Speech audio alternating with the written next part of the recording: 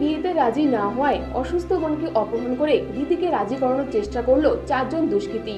অপহরণের একদিন পর এক মহিলা সহযাত্রীর সহযোগিতায় মালদা রেল স্টেশন থেকে অপহরণ হওয়া কিশোরীকে উদ্ধার করল জিআরপি। অভিযুক্তরা পলাতক। বর্তমানে কিশোরীর চিকিৎসাধীন মালদা মেডিকেল কলেজ হাসপাতালে। পুলিশ সূত্রে জানা গিয়েছে, ওই কিশোরী অষ্টম শ্রেণীতে পড়াশোনা করে। কন্যাশ্রীর টাকা তার ব্যাংকের খাতায় ঢুকেছে কিনা, সেটা দেখতে গিয়ে রাস্তা থেকে দুষ্কৃতীরা তাকে অপহরণ করে বলে অভিযোগ। পুলিশ সূত্রে জানা গিয়েছে, ওই কিশোরীর বাড়ি কুচবিহার জেলার মেকলিগঞ্জ থানার নিচতরফ ঘটবাড়ি এলাকায়। পরিবারের লোকেরা জানিয়েছেন, গত ছয় ডিসেম্বর কন্যাশ্রীর টাকা ব্যাংকের খাতায় ঢুকেছে কিনা, তা দেখতে গিয়ে তাকে অপহরণ করে দুষ্কৃতীরা। রাতের বেলা কিশোরী বাড়িতে না ফেরায়, পরিবারের লোকেরা মেকলিগঞ্জ থানায় নিখোঁজের অভিযোগ দায়ের করেন। অন্যদিকে মালদা রেল স্টেশনে ঢোকার মুখে ওই কিশোরী যখন জানতে পারেন তাকে অপহরণ করে নিয়ে যাচ্ছে চারজন দুষ্কৃতী সেই সময় সহযাত্রী এক মহিলাকে বিষয়টি খুলে বলতেই তার সহযোগিতায় জিআরপি ওই কিশোরীকে উদ্ধার করে। অসুস্থ অবস্থায় ওই কিশোরীকে উদ্ধার করে মহিলা হোমে রাখা হয়। সেখানে তার শারীরিক অবস্থার অবনতি হলে তাকে ভর্তি করা হয় মালদা মেডিকেল কলেজ হাসপাতালে। বর্তমানে সেখানে চলছে তার চিকিৎসা। ঘটনা হয়েছে বলেন তো। বলছিলাম যে আমাদের যে ফরিদা খাতুন আছে হুম ওকে অফার দেয় পিন্টু শেখ নামে এক ছেলে। এক ছেলে অফার দেয়, তো বিয়েতে রাজি না হওয়াতে ওর ছোট বোন বুলবুলি খাতুনকে বুলবুলি খাতুনকে সুযোগ পেয়ে চাঁড়াবান্ধা বিটি অফিস গ্রামীণ ব্যাংক থেকে ওকে তুলে নিয়ে অপহরণের চেষ্টা করে এবং জোর করে তাকে রাজি করার চেষ্টা করে। তোমার বোন, দিদিকে ফোন করো এবং বলো যে তোমার দিদিকে বলো যে আমার বিয়েতে যেন রাজি হয়। সেই ছেলেটির নাম হচ্ছে পিন্টু শেখ। তার বাড়ি নাকি মালদায়। বারবার সে হুমকি দেয় এবং তাকে জোর করে নিয়ে আসে। শিলিগুড়ি থেকে ইঞ্জিপি স্টেশনে তুলে সরাইঘাট ট্রেন ট্রেনে এক্সপ্রেসে নিয়ে আসে। তখন আর বুলবুলি খাতুন নিজের চেষ্টায় এক সহযাত্রীর সহযোগিতায় জিএপির কাছে জিএপির কাছে সম্পূর্ণ কথা খুলে বলে। তারপরে দুষ্কৃতীরা পালিয়ে যায়। ওখানে নাকি চারজন দুষ্কৃতী ছিল। তো দুষ্কৃতীদের চিনতে পেরেছে আমাদের বুলবুলি খাতুন। তবে কারোর নাম জানতে পারে নাই। একজনের নাম জানতে পারেছে সে হচ্ছে নাকি পিন্টু শেখ। তো আমরা চাই এই চারজন দোষীর শাস্তির দাবিতে মেয়েকে কোথায় পেলেন আপনারা? আমরা মেয়েকে পেলাম medical college medical college Malda medical কলেজে ভর্তি উনি এখন আছেন। আমাকে ফোন করা হয়েছিল মালদা চিলড্রেন হোম থেকে। হোম থেকে ফোন করেছিলেন এক ম্যাডাম।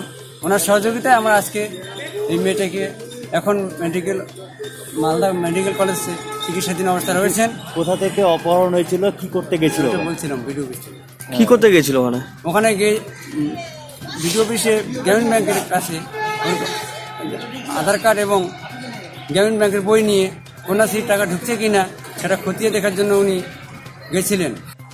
তারা আরও জানিয়েছেন, বিভিন্ন সময় বিভিন্ন মোবাইল থেকে পরিবারের লোকেদের রাজি করানোর জন্য হুমকি দিচ্ছেন দুষ্কৃতীরা।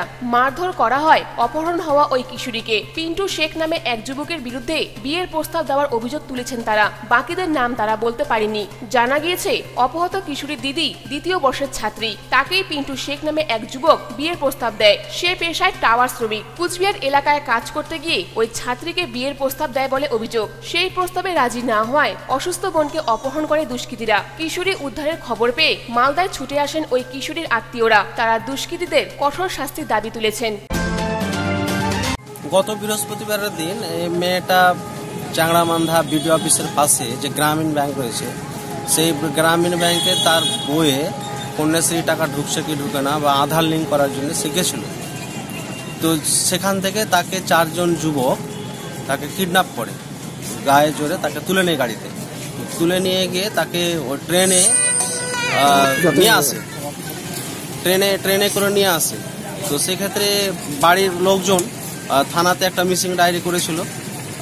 তারপরে পরে খোঁজ খবর নিয়ে দেখা যায় যে কোথাও খুঁজে পাওয়া যাচ্ছে না।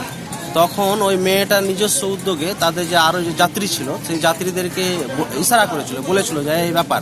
তখন ওই যাত্রীদের সহযোগিতায় রেলের যে জিআরপিএফ তাকে বলেছিল তারপরে মালদাতে তাকে স্টেশনে তাকে উদ্ধার হয়েছে। উদ্ধার হওয়ার পরে তাকে মালদা যে হোম হয়েছে, চাইল্ড হোম, সেখানে ছিল।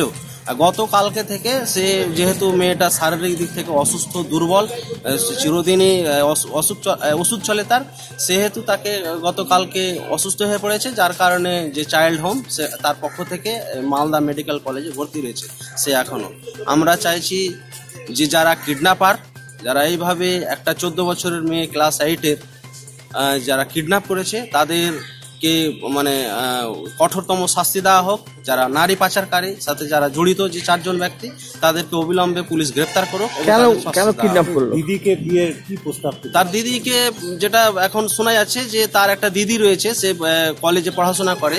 তার দিদিকে ওই পিন্টু শেখ নামে একটা ছেলে বিয়ের অফার দেয়। সে বিয়ে করতে পরিবারের অনিচ্ছাতে বিয়ে করতে সে রাজি হয়নি। যার কারণে এই মেয়েটাকে কিডন্যাপ করে এবং সে বারবার ওই মেয়েটাকে বলাবার চেষ্টা করে যে তোমার দিদিকে রাজি করাও, বিয়ে করলে তাহলে আমরা ছেড়ে দেবো বার কিছু উত্তরবঙ্গ নিউজ ব্যুরো অখিল সরকারের রিপোর্ট।